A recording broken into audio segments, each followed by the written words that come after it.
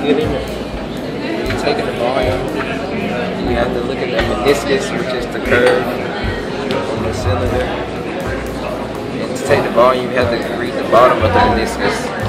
For this volume, it must be around 7.7 7.7 milliliters for the initial volume.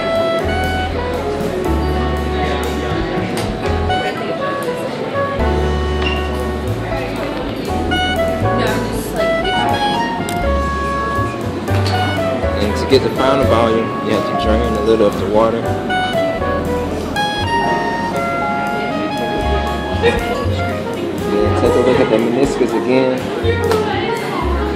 The final volume will be around 8.9 milliliters.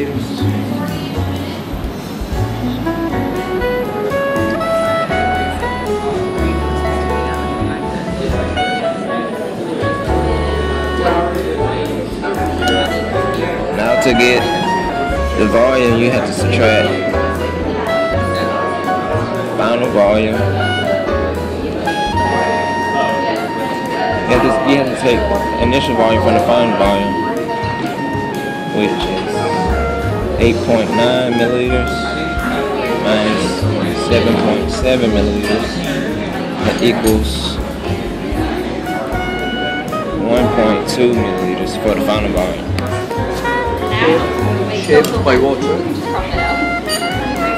Now we have to find the volume initial, which is 8.1. Now we have to find the volume final. And we have to make this one the eye.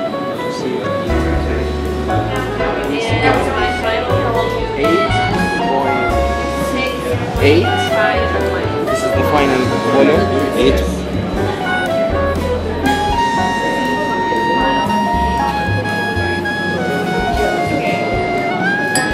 So if, we have now we have to find the volume disable. So we subtract subtract the final from the initial, which is 8.8 minus 8.1 we have 0.7 milliliter